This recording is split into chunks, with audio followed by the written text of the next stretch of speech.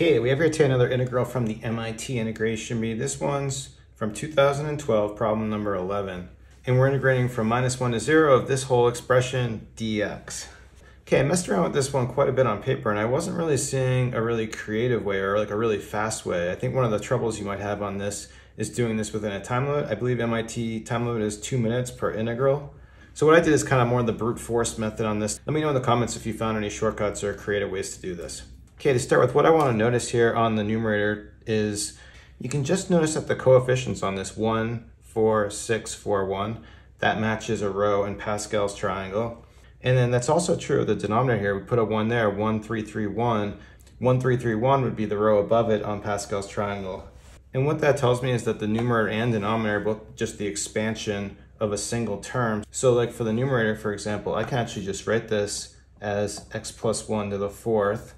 And because of the minus signs here, the denominator is not going to be x plus 1 cubed, it's actually going to be x minus 1 cubed. So we can just rewrite the integral this way, we'll put in the bounds, and we can continue.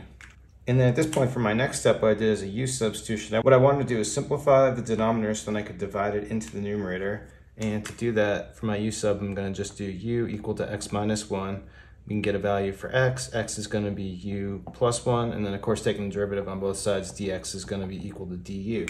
So when I plug a 0 in for x here, our upper bound becomes minus 1, and then when I plug a minus 1 in there, lower bound becomes minus 2. And then for this x plus 1, if we plug in a u plus 1 for x, we're going to have u plus 2 in the numerator to the fourth, and then this is going to become u cubed du. And then next, what I'm gonna do is I'm gonna take my numerator, I'm gonna expand this back out here, but now we have a two here instead of the one here. So it's gonna be really similar to what we have in our original, but with the two, we're gonna be multiplying a factor on these terms.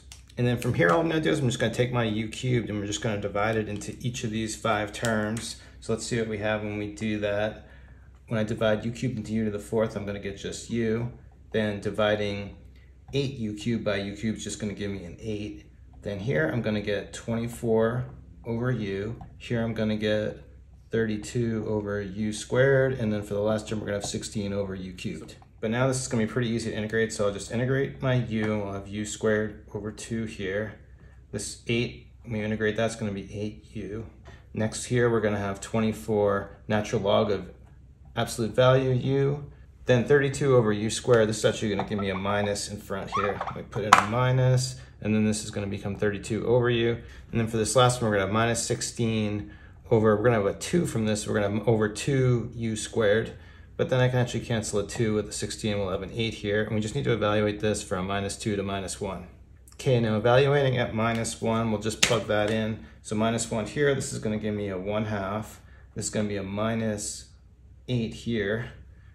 Then plus 24, natural log of minus one, absolute value, this is going to give me natural log of 1, but that's 0, so that goes away. Then here, this is going to become a plus 32, and then here, this is going to become just a minus 8. Then now to evaluate our minus 2 term, let's see what we have. Well, minus out front, so plugging minus 2 in here, this is going to give me 2 squared 4 over 2 is 2. This is going to be a minus 4 plus 24. Natural log absolute value 2 is going to give me natural log of 2. Here I'm going to get a plus 16 and here I'm gonna get a minus two. Let's see, I can cancel a two and a two here. Minus eight minus eight is minus 16. Here we have minus sign, another minus 16 with a 32. That's all gonna cancel down to zero because we're gonna have 32 minus 32. So we'll cancel that, that, that, and that. Oh shoot, something's wrong. Sorry, I made a mistake right here. Minus 2 times 8 is going to give me a minus 16. So let me fix that. That's going to be a minus 16 right there. So let's see what I have left. We have our 1 half here.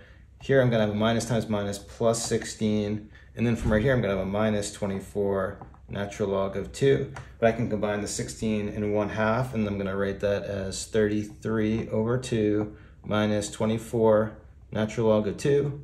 And that's it. Okay, maybe not the most interesting problem here, just kind of a lot of brute force. Let me know if you found a better, more creative way to do this. So we'll stop it there. Thanks everyone for watching. Have a great day.